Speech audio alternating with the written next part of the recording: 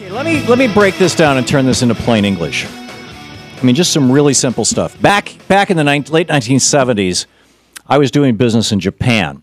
Actually, it was the early 1980s. It was 83 through 86.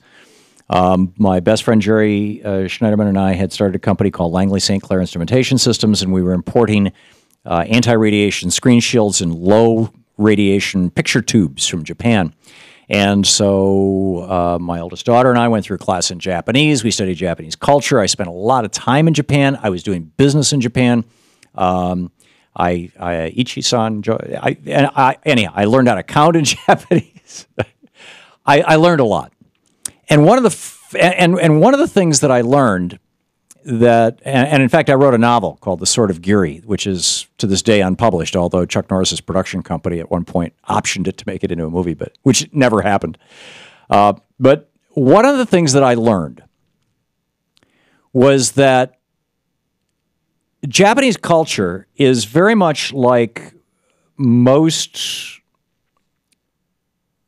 tribal societies, probably virtually all human societies, at least began, and that is it's, it's what's called an obligation culture. With Native American societies, we call them a potlatch culture. There is this thing called giri, G I R I, and basically it means obligation.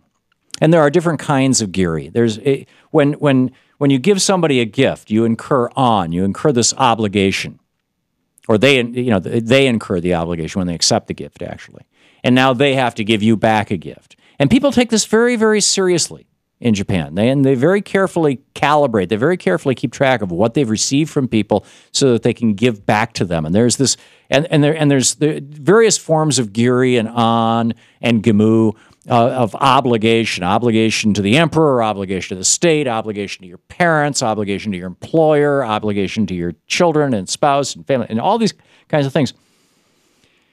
So it all began with obligation. Now, what you and I were taught about money in elementary school was that money started out as a medium of exchange to replace barter. It turns out this is not true. But here's the not true story that we all learned in school, that we all think we know. And that is that way back in history, long ago, uh, I was growing wheat and Shano was growing corn and and uh, Jim was was uh, raising chickens and uh, Danielle was helping make houses, make huts for us to live in, and we all decided that we were going to, uh, you know, we'd meet in the marketplace and I'd need to buy something to repair my hut. And so uh, I'd go to Danielle, but she she was building a hut. She didn't need my wheat. She needed instead, you know, some something else, you know. And so, and and and I couldn't get that with the wheat, but I could go to Jim and say, "Hey, Jim, uh, can I get some chickens? Because I know that the guy who's got the stuff that Danielle needs will take a chicken for it." And and so we had this barter economy, and it didn't work very efficiently. There's what economists call shoe leather costs associated with it. And so, to get rid of those shoe leather costs, what we all did is we agreed on something as a medium of exchange: cowrie shells, or wampum beads, or or uh, uh, actually the oldest city in the world, Caral in Lima, Peru. I, I was down there a couple of years ago. We did our show from there, uh, and I saw knots, actual knots, knotted cotton that were that were money.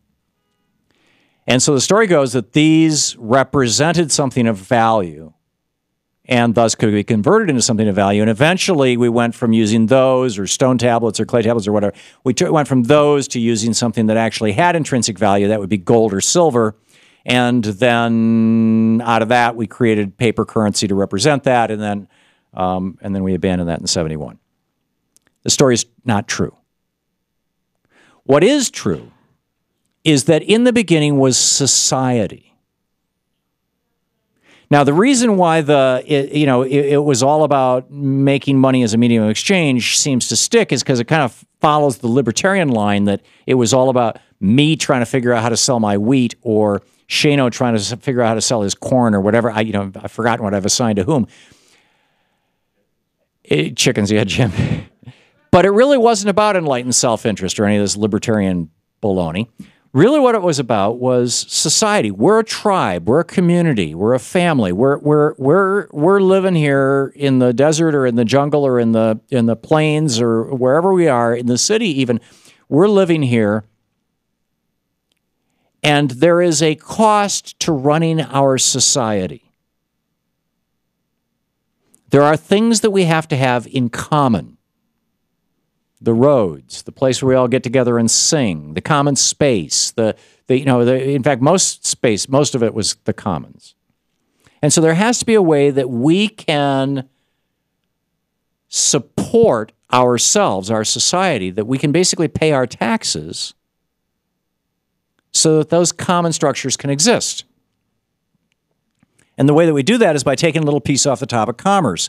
So money was invented by society, by the govern, by our first governments, our tribes, as a way of making sure that as commerce happened, a little piece of that was supporting the commons. And that's why wampum beads aren't actually money. We completely misunderstood them. What they are is, is accounting entries. They're the same thing as right now. You know, when when when you when you uh, you know move money from one checking account to another, you don't physically move money. You move ones and zeros and threes and fives and sevens on a computer screen.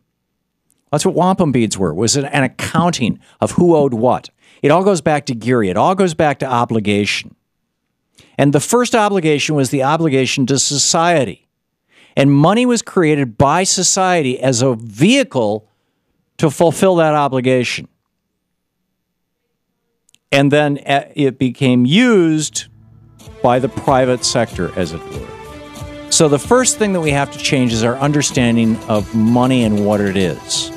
And once we understand what money is, and we understand that you know the gold standard is irrelevant, or even going back to gold is irrelevant, then a whole bunch of other stuff starts making sense.